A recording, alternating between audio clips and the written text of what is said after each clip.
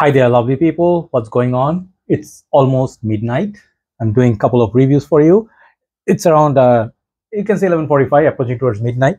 And I have uh, one fragrance I never reviewed before, brand new. Uh, one list, and this one is going to be a re-review or a final review of a fragrance, rather, from House of Cartier. And Cartier, I, I cannot pronounce it properly like French people do. Cartier I have seen Mark trying it. I mean, Mark doing it because they are French spoken uh, people, French speaking people. But this is hands down of my favorite houses. And I have a special story to tell you in this re-review. So the fragrance that I have for you today, as you can see in front of me, beautiful little bottle. And this is not a new fragrance. I got this fragrance back in 2018 and I had a small little bottle here. This was a sprayable version, uh, L'Envol EDP. Okay, I have been using this for many years. I used a lot, but at the same time, I saved some juice because I never had a full bottle of it. So thankfully, it was a sprayer version and I could spray. I don't like dab uh, bottles. So I've been carrying this since 2018. So 18 and almost five, six years, you know. Give me a second. Yeah, this weather really sucks. the weather and the health really is not my best friend right now. But yeah, finally, uh, after waiting for five long years, I have the full bottle of it, full bottle presentation and this is a stunning little presentation. I have to be very careful handling it. I hope I don't break the bottle and I have a full bottle.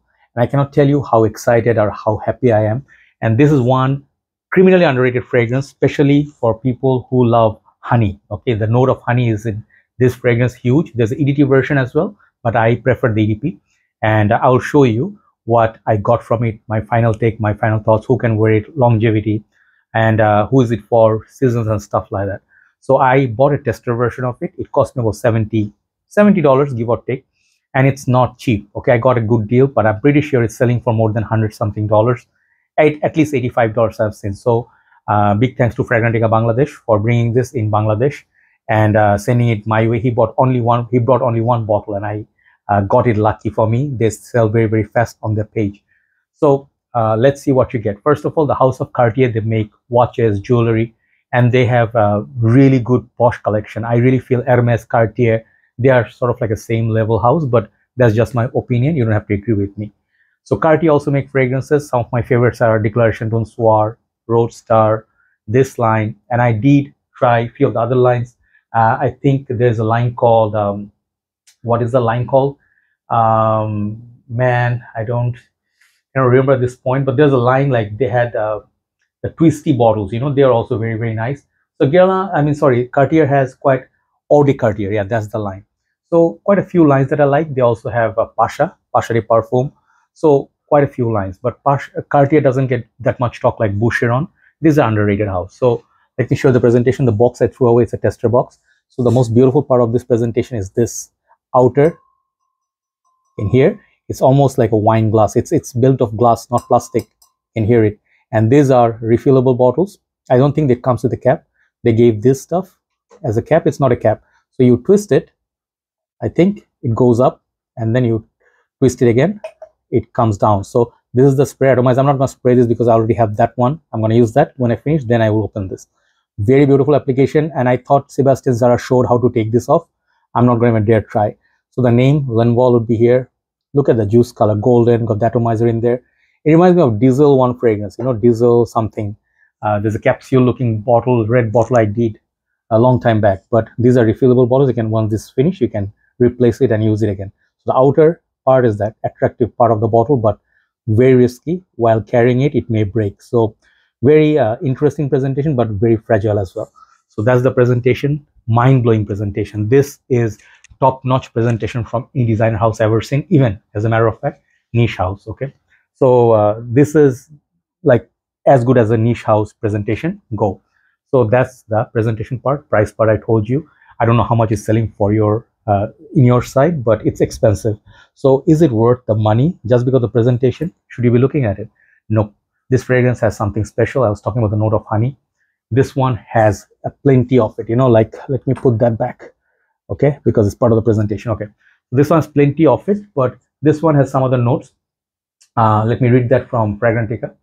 Aldehydes, coriander, clary sage, artemisia, bergamot, patchouli, carnation, vetiver, cinnamon, geranium, jasmine, orris root, civet. Okay. And I think, uh, sorry, that's I'm reading a wrong one. sorry, that's why. Yeah, I'm reading Kouros notes breakdown. Sorry, sorry, sorry about that. Uh, this one notes breakdowns are I think I got the right one. Hope so. Yes. Um, okay. Top notes are lavender, artemisia, sage. Middle notes are violet leaves, pepper, and honey, iris, guaiacol, musk, patchouli, amberwood, and cedar and vetiver at the base. Why I'm reading Kouros's notes breakdown because that's also something I open. I'm gonna keep it here, right there. I'm gonna keep one more there, right there. Also golden color juice, Givenchy Gentleman, the old 1974 version, and 1821 Sweet Tobacco Spirit. So quiz time. Could you tell me, guys, if I was live, I would ask you this: why I brought these other fragrances together? Apparently, all these fragrances share that common note of honey. Obviously, they are different in nature. This one is going to be much lighter than Kouros. Obviously, Kouros is a powerhouse.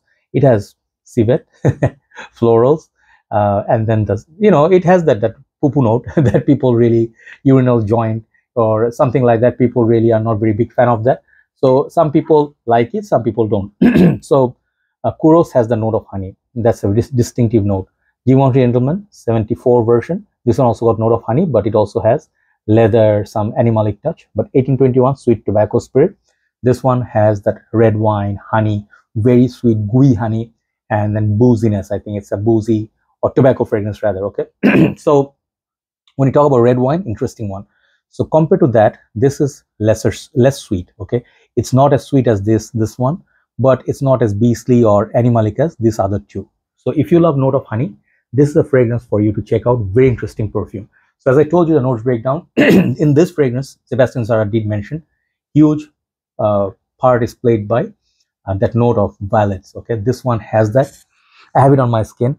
So this fragrance doesn't go like very sweet. It has this airy ozonic vibe of violets mixed with the honey. So it's a weird combination. It's not overly sweet, but it's also not overly fresh. So there's a fine balance between the two.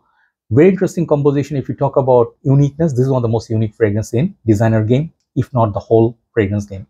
If you know H24 by Hermes, that one also has this uniqueness factor about it. This one has it highly. I do not think you get any fragrance that smells as unique as this. So uniqueness 10, bottle presentation 10, uh, longevity EDP, it's longer lasting than EDT. But the EDT projects a little bit better. This one uh, doesn't really bounce off my skin so much. I would say it would be a perfect fragrance when, let's say, you wear something like um, springtime, you know, springtime, uh, fall. Uh, this is a perfect fragrance to wear in those times. Like, you know, which fragrance comes to my mind?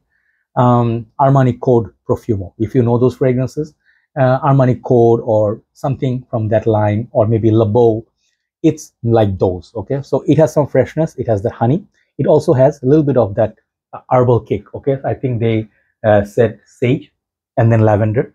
So it's a very interesting composition. You don't smell like this at all in any other fragrance. Very classy, very unisex style. Uh, occasion I would think of high class parties. You know, if the weather is not super humid or hot or sweaty, you can wear this with a tux, with a flower or a rose with your tux.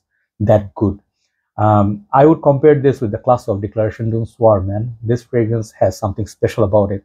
Why I decided to do this re-review? Because I want people to look at this fragrance and, hmm, think about it. Like you are buying so many of this latest uh, mindless sort of uh, flankers one after another, just sweet, bubblegummy, same old, same old, but uh, you don't have a great fragrance in your collection like this, you know, it's a shame. If people do not have fragrances like this or they try it, it's a shame for fragrance game, I feel. So why wouldn't you get it? Why wouldn't you get a presentation like it? Why wouldn't you get a fragrance just because it's Cartier? You don't understand or know the house.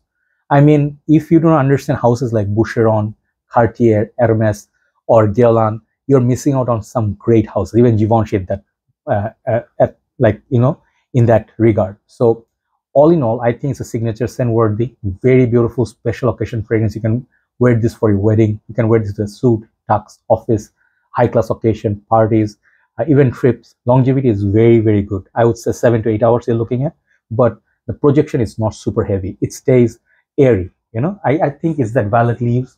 It makes it airy and a little bit of iris play. So think of Prada in a certain way. So it has those class, a little bit soapiness with honey. Imagine honey based soap. Okay. So that's what you're to get.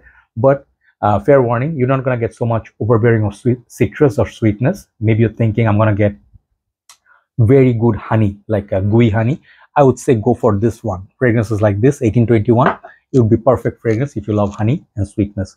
Even for that matter, angel share, okay? But this is not it. Yeah, sorry, I keep uh, have to clear out my throat. Okay, so as a conclusion, this fragrance is beautiful. It's a gem and hidden gem because not many people talk about it, understand it, or uh, have it. So if you're looking for something unique in the market and you're tired of your same old, same old, uh, super expensive fragrance, this is not super expensive, also under $100, easily you can have it. You should look at it, okay? At least get a sample or a small uh, size bottle like this. It's not going to cost you so much money. You'll see what's special about this perfume. It's a mind-blowing fragrance, okay? Even though it's not the beastly like Kouros or something like this one, I'll still rate it like 9 out of 10, okay? So Cartier L'Envol EDP, that's my final review. Check it out. It's a super sexy, super unique, creative fragrance, very futuristic as well. And the bottle is cherry on the, uh, I, I see on the cake or cherry on the top of the cake. Have a nice day. Thanks for watching. Uh, time for second review. Bye-bye.